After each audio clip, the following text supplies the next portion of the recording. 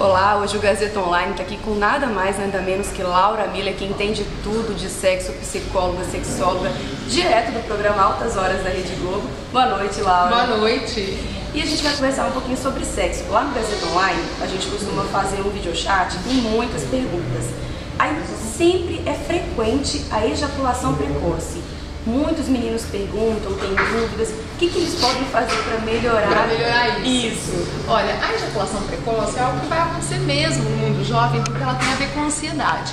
Então, quanto mais ansioso o jovem ou o adulto fica, mais riscos ou chances dele ejacular rapidamente. É uma ejaculação sem controle que quando viu já foi. Qual é a dica, né, para lidar com isso? É não ficar ansioso. Então, a juventude aí que está na fase de iniciação sexual, entender que mico todo mundo paga, que é difícil mesmo, que vai estar cheio de energia e não ficar tão tenso com isso, tão preocupado com desempenho, preocupado em agradar, preocupado em como vai ser e deixar rolar. Tentar relaxar talvez seja a dica principal para não ficar tão ansioso e não acontecer a ejaculação precoce. Eles realmente ficam muito preocupados. Laura, você roda o Brasil inteiro, está toda semana em altas horas, surgem muitas dúvidas. Como que você vê que é a vida sexual do brasileiro? Você sabe dados sobre fre frequência sexual deles? Se a gente gosta mesmo desse assunto? Como que é? Olha, o brasileiro gosta, sim, né? O assunto é um tema que movimenta e nas pesquisas mundiais aí o brasileiro é um dos povos que passa mais tempo na cama. Segundo as pesquisas, a gente fica 20 minutos em média fazendo sexo. Agora, quanto à frequência, uma coisa importante para a gente dizer, que as, as, pessoas me perguntam muito nas palestras aí pelo Brasil afora e até no próprio programa Altas Horas, se tem uma frequência ideal, se existe ali um ritmo para você ser feliz no sexo. Não tem, né? Cada pessoa vai ter a sua frequência, isso vai alterar durante as etapas aí da vida e os momentos, às vezes, né? Você está com energia é, num projeto novo, então você não vai estar tá com energia para o sexo e vice-versa, mas isso são fases e essa frequência vai alterar. Então, cada pessoa vai ter uma frequência única e cada casal também vai ter a sua. Não se preocupar com isso, não ficar tentando seguir regras aí, né? Ah, que vale a pena fazer isso, fazer aquilo. É o jeito, fazer as coisas com a sua cara, talvez seja a principal dica. Tem uma idade máxima que os casais costumam continuar tendo relações sexuais? A gente vê um casal de velhinhos, idosos tem frequência? Olha, a gente pode fazer sexo a vida inteira, basta sentir desejo. Então, se a gente está com 80, 90, não sei quantos, a gente pode fazer sexo sim. Claro que não, o corpo não vai responder como de um jovem de 20, 30 anos, né? Nem como aos 50. Vai ter uma mudança aí da pró própria do envelhecimento. Mas o que, que vai ter a favor? Todo o tempo né? Vai ter sabedoria de vida, vai ter um outro jeitão aí de lidar com o próprio corpo e é possível sim sentir prazer e ser muito feliz nesse aspecto. Você falou sobre desejo. Muitas mulheres têm falta de desejo. O que elas podem fazer para voltar a ter esse desejo sexual? O desejo, ele não tem a ver só com as coisas que a gente vive na cama. Pode ter a ver também com o relacionamento do casal fora da cama, com mágoas, desentendimentos ou falta de tempo, com uma série de questões fora da cama. E também pode ter a ver com a vida como um todo pode ter a ver com o que você está vivendo, se você está num momento de grandes preocupações em outras áreas. Hoje aqui eu vou falar em Vitória sobre isso, além do sucesso profissional, como equilibrar carreira com vida afetiva e, e sexual. E uma das questões centrais é como é que eu faço? Se eu estou com muito foco no trabalho, eu perco o desejo. E aí, né? Tem algo de errado?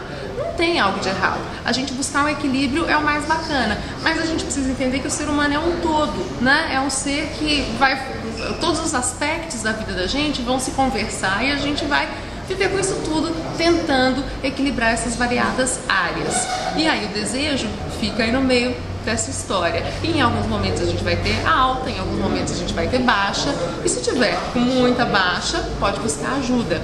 A ajuda em geral é buscada com um psicólogo para as questões emocionais e um médico urologista para os homens, ginecologista para a mulher para as questões físicas. Pode ter ali uma questão hormonal de fundo também atrapalhando aí o desejo, mas em geral eu costumo dizer que o nosso ponto G está na cabeça. Se a cabeça vai bem, todo o resto também vai.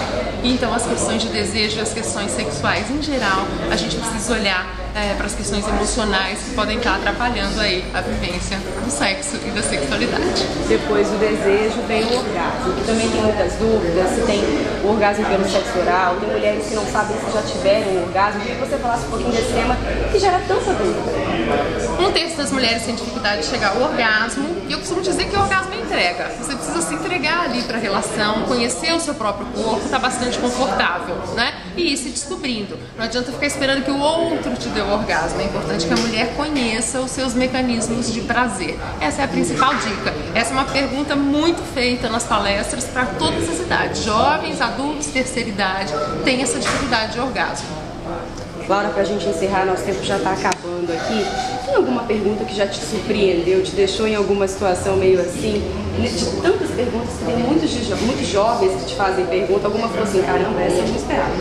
Olha, teve uma muito engraçada, né, recentemente, que foi uma menina que perguntou da tia, começou a falar da vida sexual da tia, foi até no programa Altas Horas e deu uma mídia danada em cima dessa pergunta.